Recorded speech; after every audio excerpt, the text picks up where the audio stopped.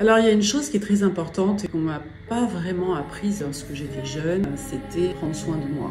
Je pense qu'il est très important de prendre soin de soi, de son corps, de son visage, de sa santé. C'est pas forcément faire de la médecine esthétique, faire des injections et tout ça. Votre corps, c'est votre maison. Vous en faites ce que vous voulez. Et en fait, vous allez avoir les résultats ce que vous en avez comment vous en avez pris soin. Alors bien entendu, il y a des personnes qui savent dès le départ, qui font très attention, qui font du sport. Après, il n'y a pas que ça, bien évidemment, il y a le bonheur, il y a le fait d'être bien avec soi. C'est aussi prendre euh, faire avec des amis, faire la fête, c'est super important. Faire attention, bien entendu, à son visage. Lorsque j'ai des patients qui arrivent en me disant je me supporte plus, faites attention au soleil, votre alimentation, faites attention à votre hydratation, faites attention simplement aux crèmes que vous allez mettre. La base, c'est de faire attention à votre maison, c'est-à-dire à votre corps, parce que le retour en arrière est impossible et heureusement on peut l'améliorer. Et tous les jours, je le fais pas, hein, mais je vais le faire à partir de maintenant. Tous les jours, tous les matins, vous vous dites que vous êtes belle, que vous êtes parfaite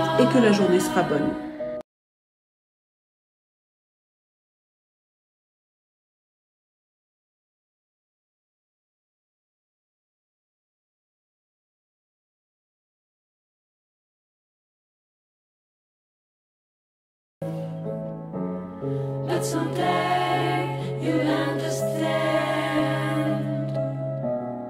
Mm-hmm.